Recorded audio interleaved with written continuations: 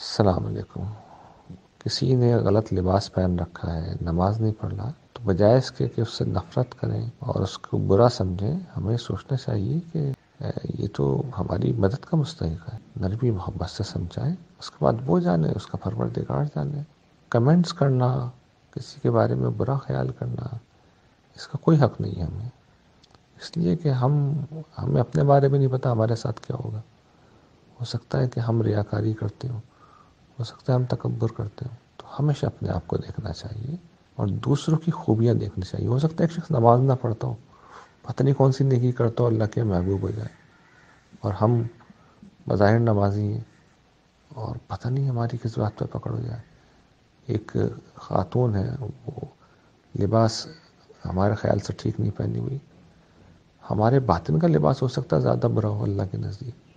اس کو چھوڑ دیں، اللہ تعالیٰ ہمیں پکڑ لیں ہمیشہ اپنے آپ کو دیکھنا چاہیے۔